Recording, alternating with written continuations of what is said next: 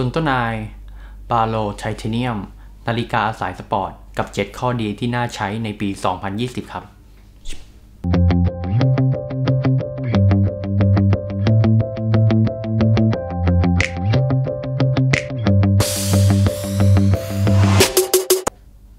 สวัสดีครับ ผมก้องครับสำหรับคลิปนี้นะครับ ผมจะมาบอกข้อดี 7 ข้อของเจ้านาฬิกา Suunto 9 Baroไทเทเนียมนะครับ ซึ่งขอเกริ่นคร่าวๆก่อนนะครับสำหรับ Suunto 9 เนี่ยจะแบ่งเป็น 2 รุ่นใหญ่ๆเลยนะครับ ก็คือ Suunto 9 non baro กับ Suunto 9 baro ซึ่ง2เนี้ยแตกต่างกันก็คือ non baro ไม่มีบาโลมิเตอร์ ส่วน baro ก็คือมีบาโลมิเตอร์ ซึ่งเจ้าบาโลมิเตอร์เนี้ยก็คือเป็นเซนเตอร์ที่วัดความกดอากาศนั่นเอง แต่ทีนี้ เจ้าตัว Suunto 9 ที่เป็น baro เนี่ยยังแบ่ง 2 รุ่นย่อยหลักๆนะครับ ก็คือจะเป็นรุ่นที่เป็น all black แล้วก็รุ่นที่เป็นไทเทเนียมสองรุ่นนี้จะต่างกันก็คือ ถ้าเป็นรุ่น all black นะครับ ตัวบอดี้เนี่ยจะเป็นอลูมิเนียม แต่ถ้าเป็นรุ่นไทเทเนียมคือเอาบอดี้ตัวเนี้ยจะเป็นไทเทเนียม ซึ่งไทเทเนียมเนี่ยจะให้น้ำหนักที่เบาแล้วก็จะค่อนข้างที่จะแข็งแรง ป้องกันรอยขีดข่วนได้ค่อนข้างดี คุณสมบัติเด่นๆของเจ้าซุนโตนายตัวนี้นะครับ ก็อย่างที่บอกไปแล้วก็คือมันมีบาโลมิเตอร์ที่วัดระดับความกดอากาศนะครับ แล้วก็สามารถที่จะแจ้งเตือนในกรณีที่มีพายุได้นะครับ ก็เปิดออนไว้แล้วพอมีพายุปุ๊บจะแจ้งเตือนที่หน้าจอว่าเป็น storm นะครับ แล้วก็อีกอย่างหนึ่งก็คือจะมีเซ็นเซอร์ altimeter ซึ่งเซ็นเซอร์ตัวนี้จะไว้วัดระดับความสูง นะครับ ถ้าเป็นรุ่นที่มันไม่ใช่ baro เนี่ย ก็คือจะใช้ GPS แต่รุ่นนี้คือจะทำงานควบคู่กับ GPS แล้วก็นาฬิกาของ Suunto กับทุกรุ่น รวมทั้ง Suunto 9 เองเนี่ย สามารถมีให้คุณเลือกได้ทั้งหมด8ติบชนิดกีฬานะครับค่อนข้างที่จะเยอะมาก แล้วรุ่นนี้ก็คือมันเหมาะกับนักวิ่งที่สายเทรลสายอัลต้าหรือว่านักวิ่งทั่วๆไปทั้งหมด เดี๋ยวต่อไปเราจะมาดูข้อเด่นแต่ละข้อของเจ้าซุนโตนายตัวนี้กันครับ ข้อดีข้อแรกนะครับก็คือแน่นอนละตัวเนี้ยชูโรงมาเลยเรื่องแบตเตอรี่นะครับ แบตเตอรี่อย่างเนี้ยของเขาเนี่ยค่อนข้างที่จะอึดทน โดยที่แบตเตอรี่ของเจ้าซุนโตนายเนี่ยสามารถเลือกโหมดการใช้งานได้ทั้งหมด 3 โหมดนะครับ ก็คือโหมด Performance โหมด Endurance แล้วก็โหมด Ultra แต่ทั้ง 3 โหมดนี้เราสามารถที่จะ edit ได้นะครับ เดี๋ยวไปดูรายละเอียดกันครับนะครับ ซึ่งแบตเตอรี่ของต้นนายเนี่ยเราสามารถที่จะเลือกได้ทั้งหมด 3 แบบนะครับ ก็คือเข้าไปในการออกกำลังกายของเรา ก่อนที่เราจะวิ่งนะครับ เราสามารถที่เลือกโหมดของแบตเตอรี่ได้ตรงนี้นะครับ ตอนนี้คือเป็นโหมดที่เป็น performance หรือว่าเป็นโหมดปกตินะครับ เราสามารถที่จะใช้งานได้ทั้งหมด 24 ชั่วโมงนะครับ พอกดไปอีกครั้งหนึ่งนะครับ ตอนนี้โหมดจะอยู่ที่ endurance แล้วนะครับ endurance ก็คือเราจะว่าใช้งานได้ทั้งหมด 38 ชั่วโมงนะครับ กดอีกครั้งหนึ่ง ตอนนี้ก็จะเปลี่ยนเป็นโหมดแบบ ultra แล้วนะครับ ใช้งานได้ทั้งหมด 136 ชั่วโมง ทีนี้ถ้าเราจะต้องการคัสตอม สามารถเลือกได้ตรงนี้นะครับ กดล่างเพื่อเป็นออปชันแล้วเราก็เลื่อนลงมานะครับ เลื่อนตรงมาตรงนี้จะเห็นคำว่าแบตเตอรี่โหมดแล้วก็กดเข้าไป เนี่ยจะมีโหมดเป็น performance endurance แล้วก็ ultra แล้วก็จะมีเลือก custom นะครับ โหมดแบบ performance นะครับแบบ performance ก็คือ GPS base แล้วก็ display เป็น low color วัดที่ประจรหัวใจ ความสว่างปกติ การสั่นแจ้งเตือนแล้วก็บลูทูธปกตินะครับ โหมดที่ 2 ก็คือจะเป็น endurance endurance ก็คือ GPS จะเป็น good แล้วนะครับ เปลี่ยนไปจาก base เป็น good ก็ display color ก็คือเป็น low แล้วก็แล้วก็ความสว่างตรงนี้ก็คือ 20%นะครับลดละลดลงมาจากที่เป็น normal ปกตินะครับ แล้วก็การสั่นแล้วก็บลูทูธก็คือเป็นปกติ โหมดที่ 3 ก็คือเป็นโหมด ultra โหมด ultra ก็คือ GPS จะเป็น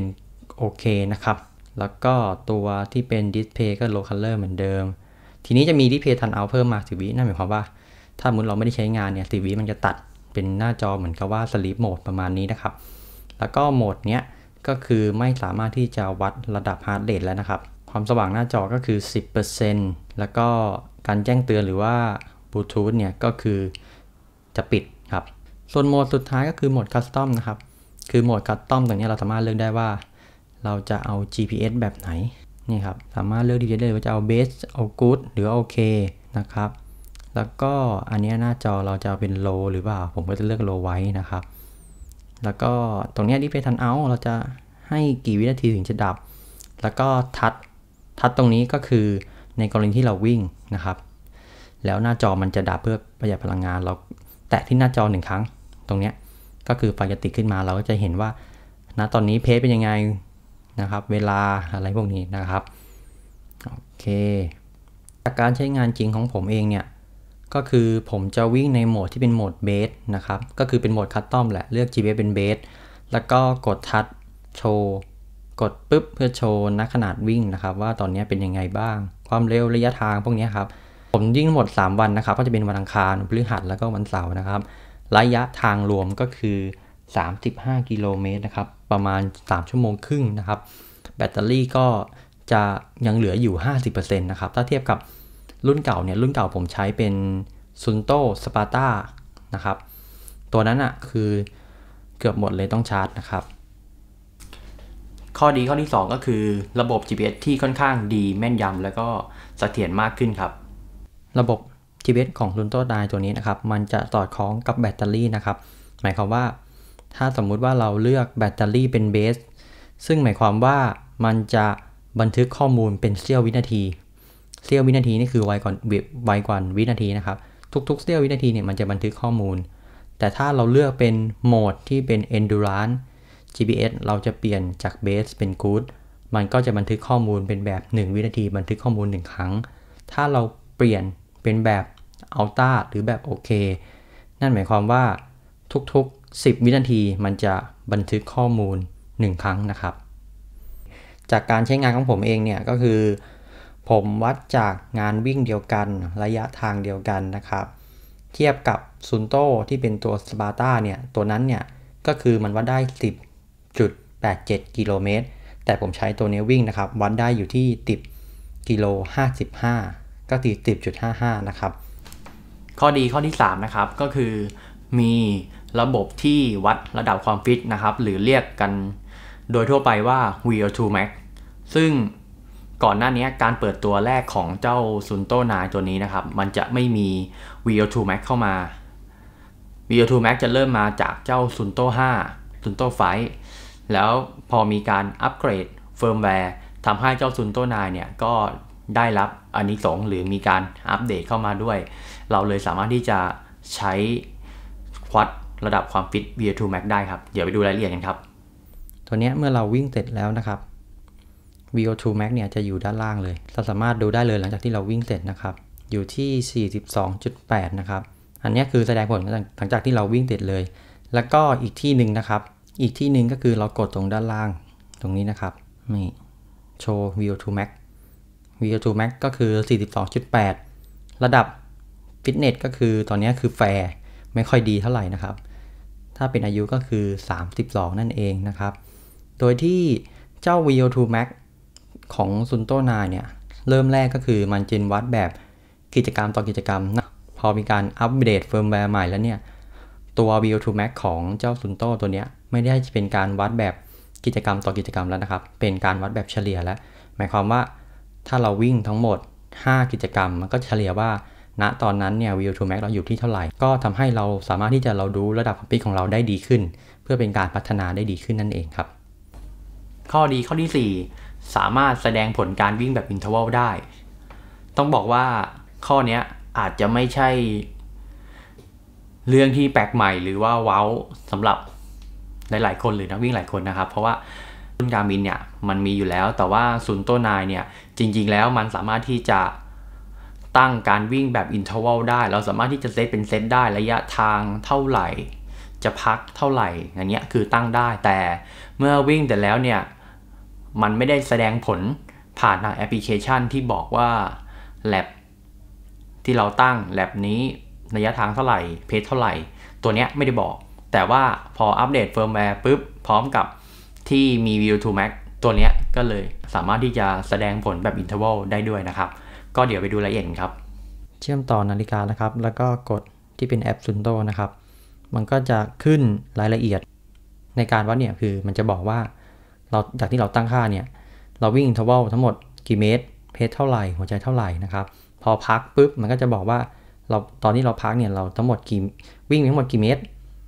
ตามที่เราตั้งไว้นะครับ pace เท่าไหร่ หัวใจเท่าไหร่นะครับ คือจะบอกไปเลยว่าวิ่งพักวิ่งพักวิ่งพักตามจำนวนเซตนะครับ ข้อดีข้อที่ 5 นะครับ มีฟังก์ชันการวัดระดับความเครียดด้วย เดี๋ยวเราไปดูรายละเอียดกันครับนะครับ ก็คือเราจะกดฟังตรงนี้ เลื่อนลงมา เรากดเข้าไปดู ตอนนี้ระดับความเครียดอยู่ที่ 45%เนี่ยก็จะคิดจะคิดจากระดับการเต้นของหัวใจของเราว่า เรามีระดับการเต้นของใจเท่าไหร่ก็คิดเป็นเป็นค่าความเครียดของเรานะครับ หรือบางทีเราเหนื่อยมากหัวใจเต้นสูงมากอะไรเงี้ยความเครียดก็เยอะขึ้นหน่อย ก็จะบอกให้เราพักผ่อนอะไรประมาณนี้นะครับ ก็เป็นอีกข้อดีหนึ่งหนึ่งที่เราเอาไว้วัดนะครับ ว่าเราทำกำลังกายเนี่ยมันหนักเกินไปไหมต้องพักผ่อนมากขึ้นหรือเปล่าอะไรพวกนี้หรือเครียดจากการทำงานอะไรพวกนี้ก็อาจจะวัดได้นะครับ ข้อดีข้อที่6 สามารถปรับแต่งหน้าจอบนนาฬิกาได้ คือเราสามารถที่จะคัดต้มไม้รายละเอียดของหน้าจอของนาฬิกาในขณะที่เราวิ่งได้นะครับ เดี๋ยวเราไปดูรายละเอียดครับ ผมทำการคัดต้นไม้แล้วนะครับ ก่อนที่วิ่งเนี่ยจะเห็นเขียนว่า running แล้วเขียนเป็นตัวเนี้ย อันนี้คือที่ผมตั้งไว้นะครับ โดยที่ปกติก็คือจะเป็น running แบบ basic หรือว่าเป็น trail อะไรพวกนี้นะครับ อันนี้ผมทำการตั้งไว้แล้วเป็นของผมเองก็คือ มันจะแตกต่างยังไง ก็คือเมื่อเรากดวิ่งไปแล้วนะครับ โดยปกติคิดขึ้นเป็นเพจหัวใจ ระยะทางแล้วก็เวลานะครับ กดอีกครั้งหนึ่งเนี่ยตรงเนี้ยที่ผมเพิ่มเข้ามาคือเป็นเพจเฉลี่ยทั้งหมด หัวใจอันนี้คือเพจล่าสุดที่เราวิ่งระยะทางนะครับpace เฉลี่ยคือทั้งหมดสมมติสิบกิโลเนี่ยมันเฉลี่ยทั้งหมด pace เท่าไหร่ ตัวอันนี้คือ pace ที่มันนับแบบ real time นะครับ คืออันนี้คือที่ผมเพิ่มเข้ามา สำหรับการตั้งค่านะครับ ที่เป็นหน้าจอ custom ก็คือเราลิงก์กับนาฬิกา แล้วก็เข้าโหมดสปอร์ตตรงนี้นะครับ แล้วก็ edit ตรงนี้นะครับ เลือกเป็น running แล้วก็เข้าไป พอเลือกเข้าไปเสร็จปุ๊บปิ้งมีหมด 4 หน้าจอเนี่ยเราสามารถเปลี่ยนได้ตั้งแต่หน้าจอแรก หน้าจอที่ 2 แล้วก็หน้าจอที่ 3 หน้าจอที่ 4 เลือกได้หมดเลย ผมจะเลือกเปลี่ยนที่เป็นหน้าจอที่ 2 นะครับเนี่ยก็จะมีให้เราเลือกว่าเราจะต้องการเลือกแบบไหน นะครับเลือกได้หมด ข้อดีข้อ 7 เป็นข้อดีข้อสุดท้ายแล้ว ก็เป็นข้อดีของซุนโตเองเลยไม่ว่าจะเป็นซุนโตรุ่นไหนก็ตามนะครับ เพราะว่ามีการรับประกันถึง 2 ปีนะครับ ทั้งหมดนี่ก็คือ 7 ข้อดีของซุนโตนายบาโลไทเทเนียมที่น่าใช้ในปี 2020 นะครับ ต้องบอกว่าคลิปนี้ผมบอกรายละเอียดของ 7 ข้อดีนะครับ ไม่ได้ลงรายละเอียดลึก ฟังก์ชันการใช้งานเกือบทั้งหมดนะครับ แต่ทีนี้นะครับถ้าถามว่าท่านใดที่ดูแล้วเนี่ยมีความสนใจหรือว่ามีสอบถามเพิ่มเติมเนี่ยอยากให้ผมอธิบาย หรือว่าพูดส่วนไหนเพิ่มเติมก็คอมเมนต์ไว้ด้านล่างเลยนะครับสำหรับดูคลิปนี้แล้วถ้าชื่นชอบนะครับ ก็ฝากกดติดตามกด Subscribe นะครับ กดไลค์กดกระดิ่ง เพื่อเป็นการแจ้งเตือนคลิปใหม่ๆนะครับ เพื่อเราจะไม่พลาด เวลาที่ผมมีการอัปเดตคลิปใหม่เนาะแล้วก็เจอกันคลิปหน้าครับสำหรับคลิปนี้ก็ลาเท่านี้ครับ สวัสดีครับ